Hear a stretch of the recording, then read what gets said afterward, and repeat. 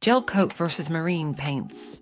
Once you purchase a brand new Shine boat, you will want to keep it undamaged as long as possible.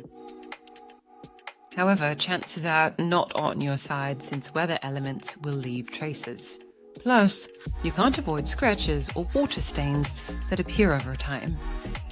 Although most new boats come with gel coating, you have two options when it comes to repairing your vessel repainting or reapplying gel coat. Most boat owners have a dilemma when choosing gel coat versus marine paint for their boat, since both options have their advantages and downsides.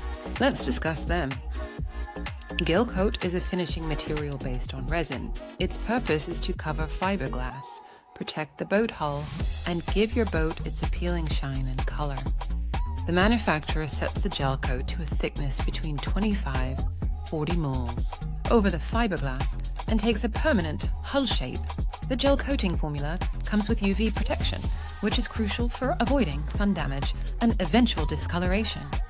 In addition, the coating won't react with chemicals typically found on a boat, such as gasoline, kerosene, and denatured alcohol.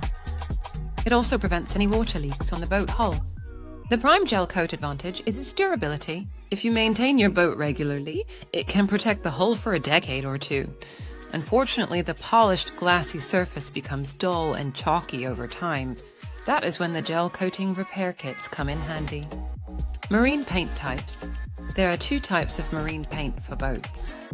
The fundamental one is the paint itself, the pre-made mixture you apply straight from a can.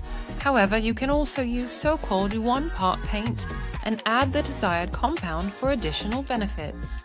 In that case, you will get a two-part marine paint.